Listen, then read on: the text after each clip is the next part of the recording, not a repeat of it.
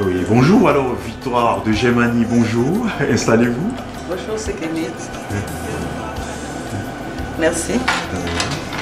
Merci de m'avoir euh, invité. Je viens de la Martinique. Je suis, j'ai été mannequin pendant une quarantaine d'années.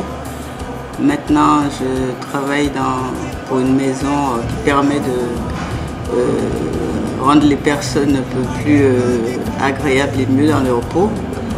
Et je travaille beaucoup avec euh, tout ce qui est euh, mode et, euh, et en même temps avec les produits de soins euh, et, le- et de bien-être. Voilà. Alors on va faire un petit retour, un petit flashback sur votre passé. Euh, Comment est-ce qu'on devient mannequin euh, à Paris euh, c'est- à Paris Ben, j'ai commencé en Martinique, mon île natale. Alors expliquez-nous, ça s'est passé comment Ça s'est passé ben, depuis ma plus tendre enfance. Vous avez quel âge À l'époque, j'avais 4 ans. Ma mère était couturière. Ans Oui. Ma mère était couturière et j'étais attirée par euh, toutes ces photos de, de femmes et ces, ces jolis, euh, ces jolis magazines avec euh, tous ces vêtements qu'elle nous faisait.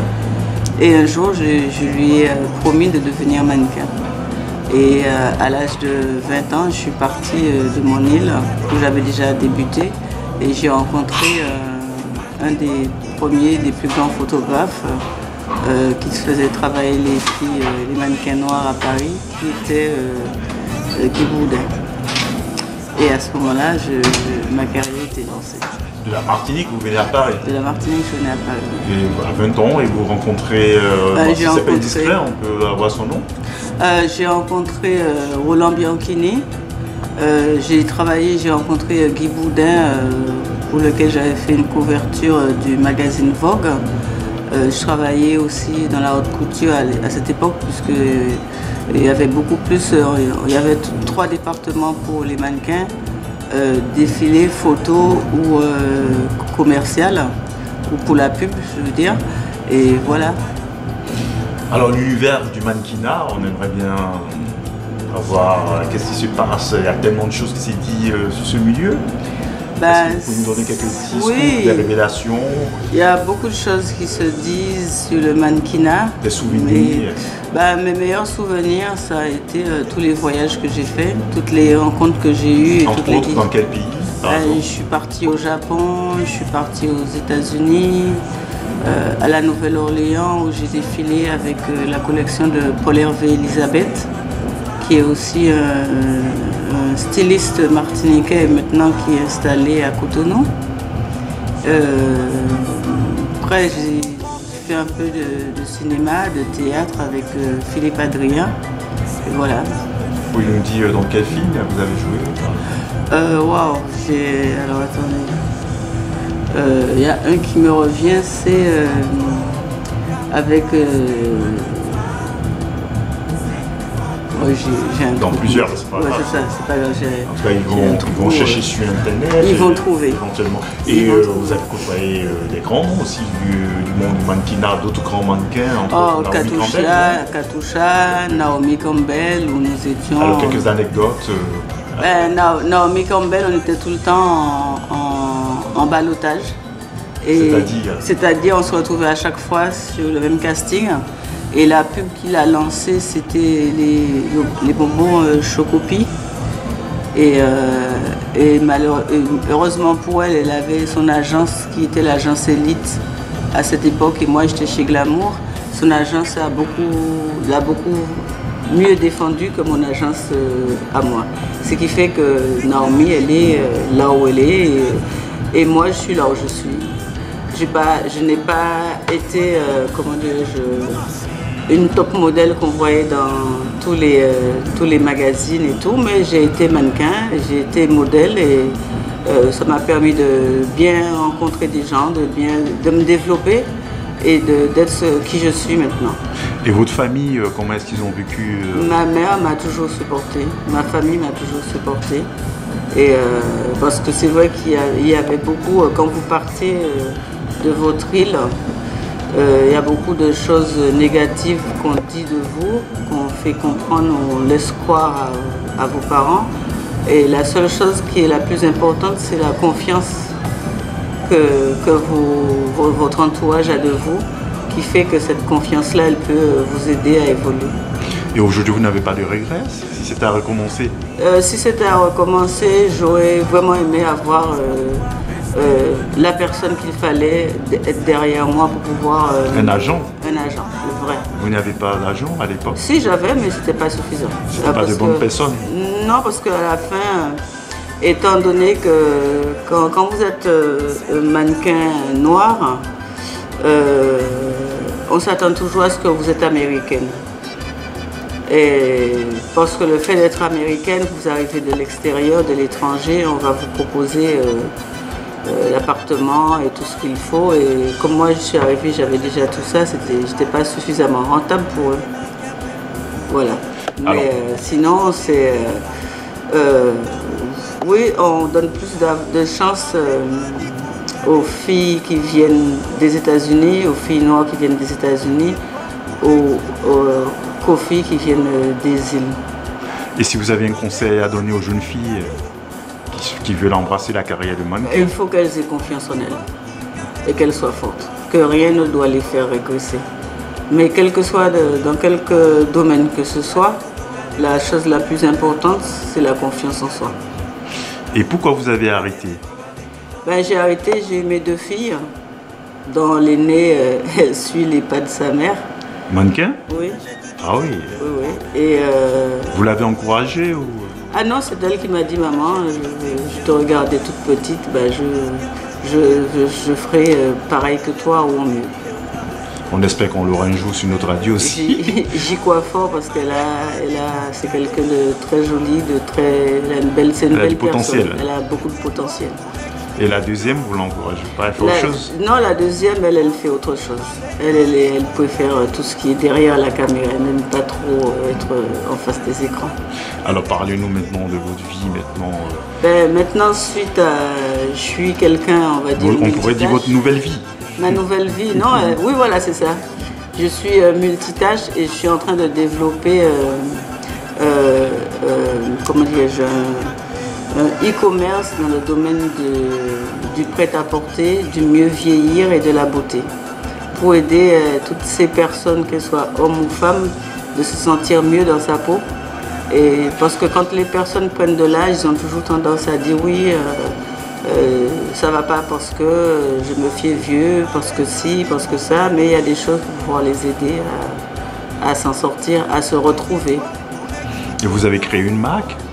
Non, je travaille avec un laboratoire euh, américain, un très grand laboratoire qui existe depuis euh, 40 ans. Et euh, ce laboratoire, avant de mettre quels que soient les produits sur le marché, il travaille avec euh, une équipe de 75 chercheurs et ils font des, des- recherches très poussées.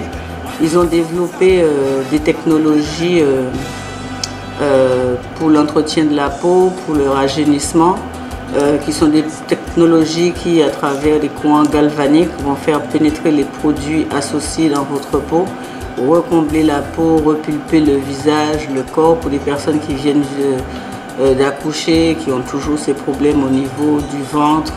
Et, ça vous permet de vraiment récupérer votre, euh, votre peau.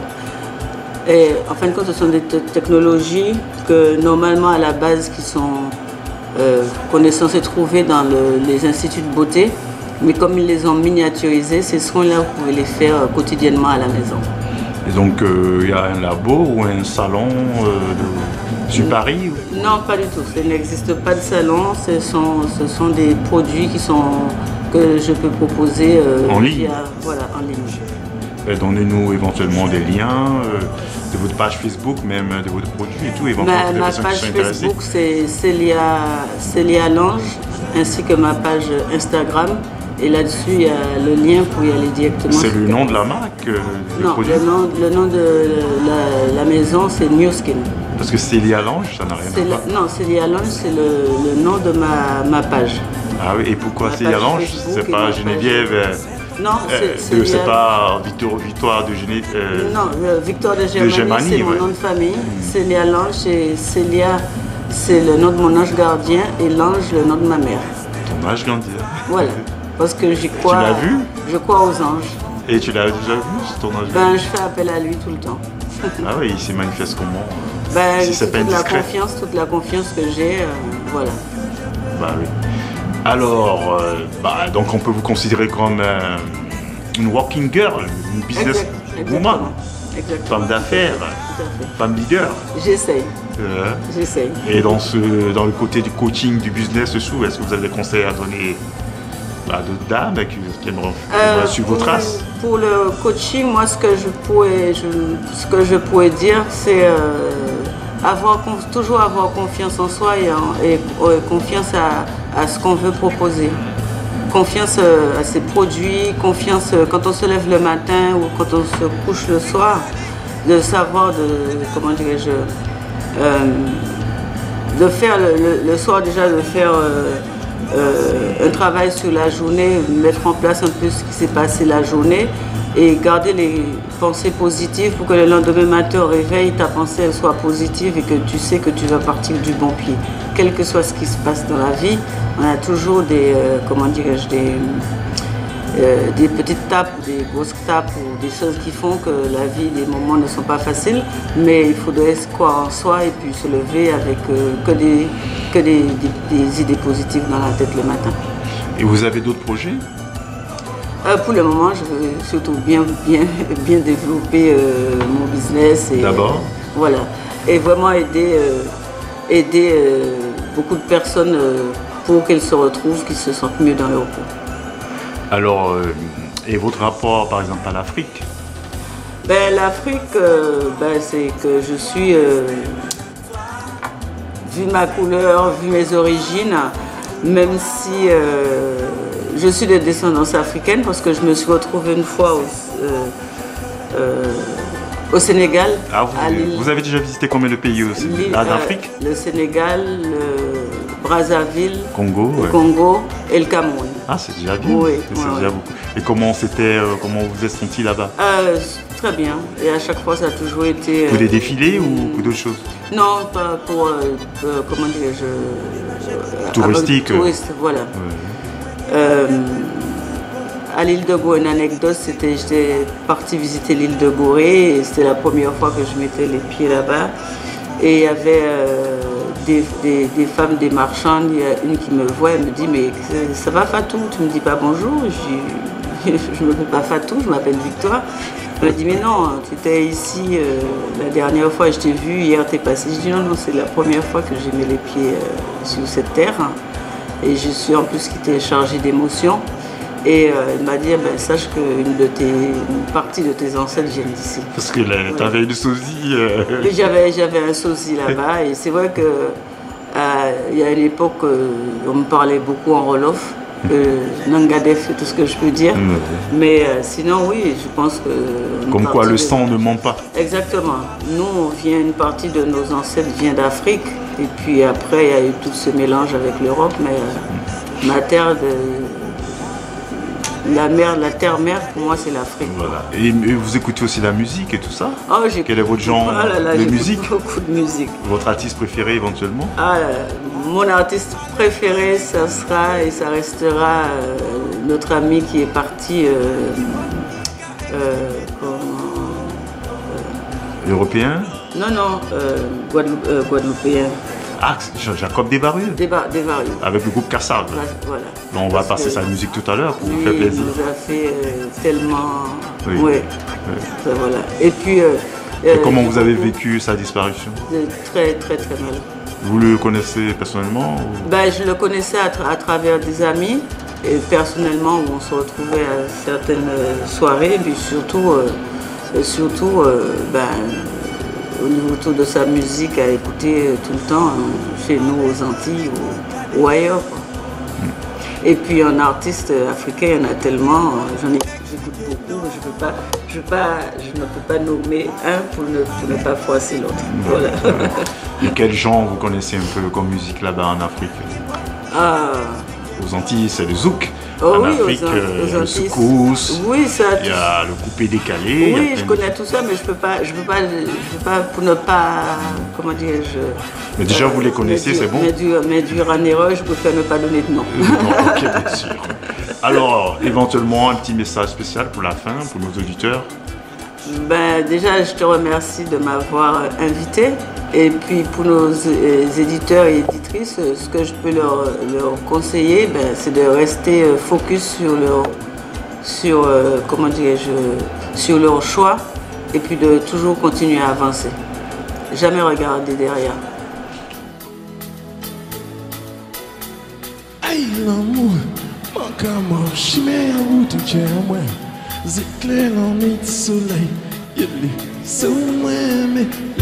à les nez, les nez à les nez, les nez à les nez, y'a les sous moi, mais. Vagal un jour qui est monté en ciel. Et même si la caution arrivait un jour nuit en ciel coulait, même si en mort. Ses yeux ouverts, pour moi plus voir, depuis l'autre côté là.